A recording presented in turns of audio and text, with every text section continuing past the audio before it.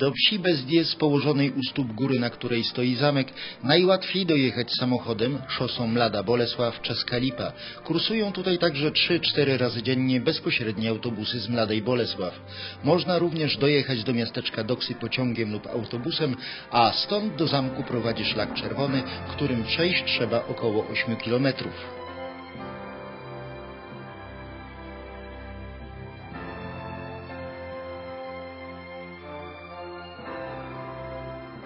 Zamek Bezdies miał niezwykłe szczęście pod tym względem, że nie przeszedł żadnej wyraźnej przebudowy. Nawet prace prowadzone tutaj na przełomie XIX i XX wieku nie pozostawiły w bryle budowli ani w jej wnętrzach zauważalnych śladów. Dzięki temu dzisiejsi turyści zwiedzający zamek mają okazję oglądać zabytek zachowany w pierwotnym, autentycznym kształcie. Budowa zamku związana jest bezpośrednio z ekspansywną, kolonizacyjną polityką czeskiego króla Przemysła Otokara II, któremu swe powstanie zawdzięczają w tym samym czasie liczne pobliskie wsie i miasta. Zamek i gmina noszą taką samą nazwę. Gród wznosi się na jednym z dwóch wzgórz.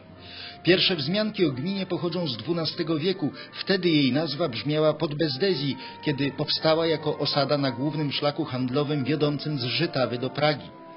Interesująca jest również historia miana samego zamku, powiązana z nazwami okolicznych wzniesień.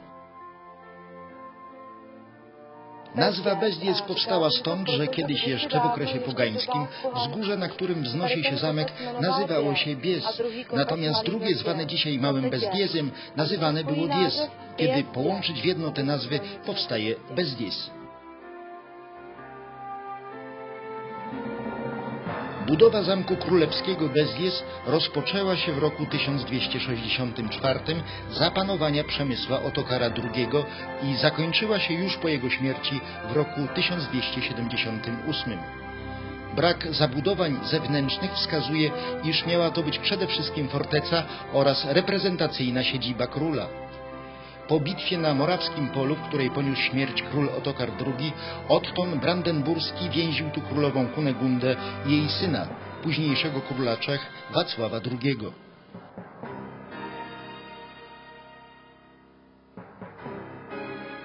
W połowie XIV wieku posiadłość przeszła w ręce Karola IV, a zamek zyskał na znaczeniu zajmując drugie miejsce w hierarchii czeskich zamków po Karlsteinie. Podczas wojen husyckich budowla była punktem oporu katolików. Masywne umocnienia skutecznie odstraszały oddziały wroga od prób zdobycia warowni. W wieku XV i XVI w historii zamku na przemian przeplatały się okresy, kiedy był on własnością korony, z latami, kiedy oddawany był w zastaw potężnym szlacheckim rodom, które zabytkowy obiekt traktowały raczej po macoszemu.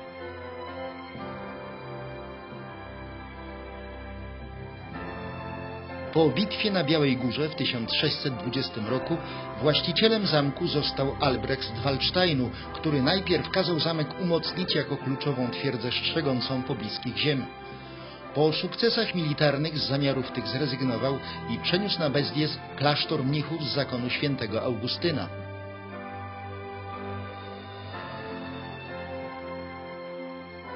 Od roku 1662 budynki twierdzy służyły jako klasztor benedyktynów, którzy w 1666 roku przenieśli tutaj uroczyście kopię posągu Czarnej Madonny Monastyrskiej i od tego czasu Bezwies stał się celem wędrówek tysięcy pielgrzymów jako znaczące miejsce kultu maryjnego. Wśród pątników powszechne było przekonanie, że przez samo wejście na klasztorną górę i odwiedzenie zamkowej kaplicy, gdzie stała figura Madonny, uzyskiwało się odpust zupełny.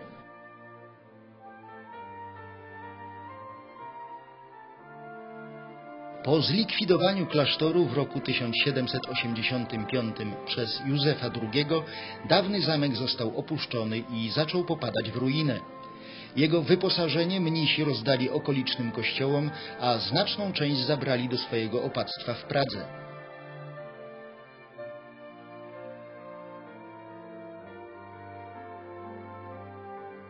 Romantyczna ruina stanowiła twórczą inspirację dla wielu czeskich artystów, zwłaszcza malarzy i poetów, którzy, podobnie jak wybitny czeski poeta Karol Hynek-Macha, często odwiedzali Bezdies.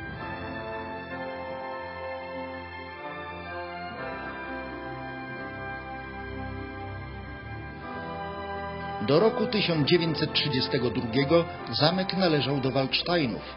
Następnie za symboliczną kwotę został zakupiony przez Czeskie Towarzystwo Turystyczne.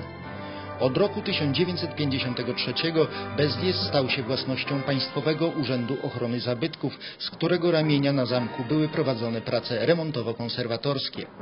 Spora część tych robót wykonana została ze środków programu architektonicznego dziedzictwa narodowego. Trasa wiodąca do zamku Bezdies stanowi sama w sobie istotny etap zwiedzania zabytkowych ruin. Na każdym właściwie kroku widać tu wyraźne ślady przeszłości.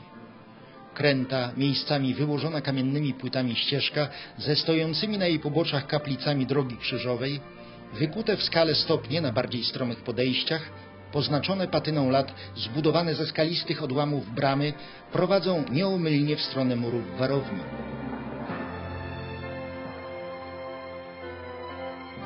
Czwarta z kolei brama otwiera wejście na zamkowy dziedziniec.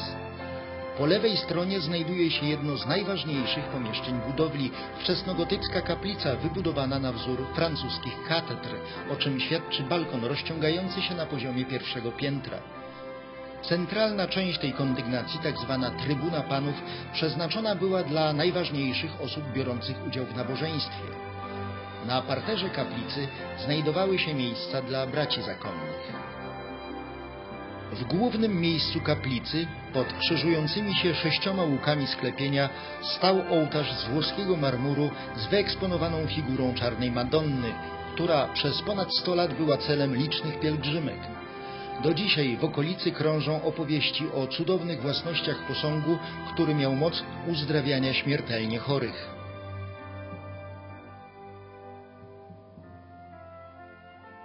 Pomieszczenie przyległe do kaplicy stanowiło pierwotnie część Pałacu Królewskiego.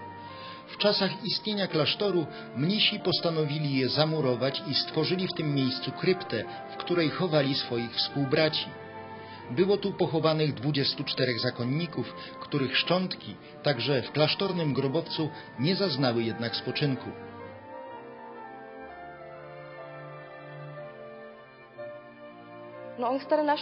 W okresie gorączki złota na zamku buszowali poszukiwacze skarbów. Ich zainteresowania skupiały się właśnie na klasztornej krypcie, z której wyrzucone czaszki i kości mnichów rozwleczone zostały po całym pierwszym dziedzińcu. Pisał o tym wybitny czeski poeta Karol Hynek-Macha. Później ktoś z tego powodu zaczął mieć wyrzuty sumienia. Szczątki zakonników zebrano i we wspólnej trumnie pochowano w kościele świętego Idziego na dole we wsi. Mówi się, że od tamtej pory w ruinach zamku straszy 14 mnichów i jedna głowa.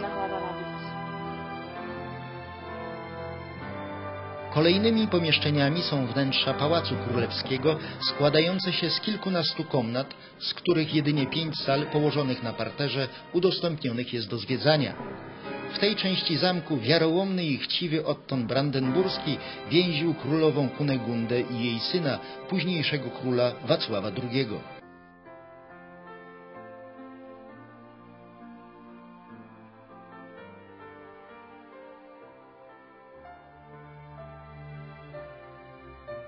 Obok królewskiego pałacu wznosił się pałac burgrabiego, czyli pełnomocnika władcy, który w królewskim imieniu zarządzał zamkiem, sprawując jednocześnie obowiązki sędziego. Na pałacowym dziedzińcu zwraca uwagę wielka cysterna wodna, głęboka na prawie 7 metrów. Drugi zamkowy dziedziniec otaczają pozostałości tzw. mańskich pałaców, w których mieszkała szlachta stanowiąca zamkową drużynę króla.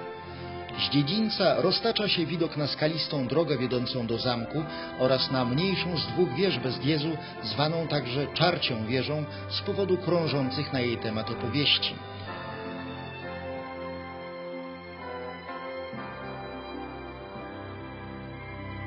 Jedna z legend dotyczy małej wieży, na którą mówi się Czarcia wieża.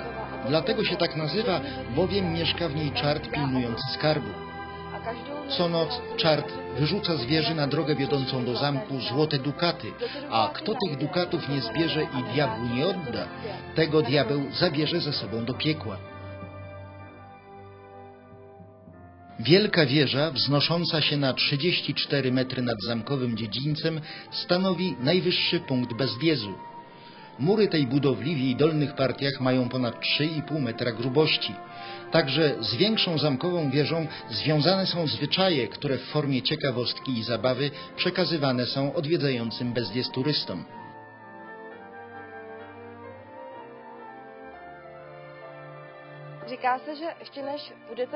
Przed wejściem na wieżę należy pomyśleć jakieś życzenie, a następnie policzyć dokładnie wszystkie schody. Kto policzy poprawnie, temu się ukryte życzenie spełni. Z wielkiej wieży Bezwiezu otwiera się rozległy widok na cały czeski raj. Miejscowi przewodnicy twierdzą, że widać stąd jedną trzecią terenu Czech. Świętą Górę Żib, czeską Lipę, Jesztet, Ralsko i zamykające horyzont Karkonosze. Przy dobrej pogodzie dostrzec można także odległą Pragę. Walory widokowe najwyższego punktu Bezwiezu były przyczyną zakazu wstępu na wieżę w latach, kiedy w pobliżu stacjonowały wojska radzieckie. Rosjanie nie życzyli sobie, by ktokolwiek podglądał wewnętrzne działania sowieckich garnizonów oraz życie wybudowanych obok tych jednostek miasteczek.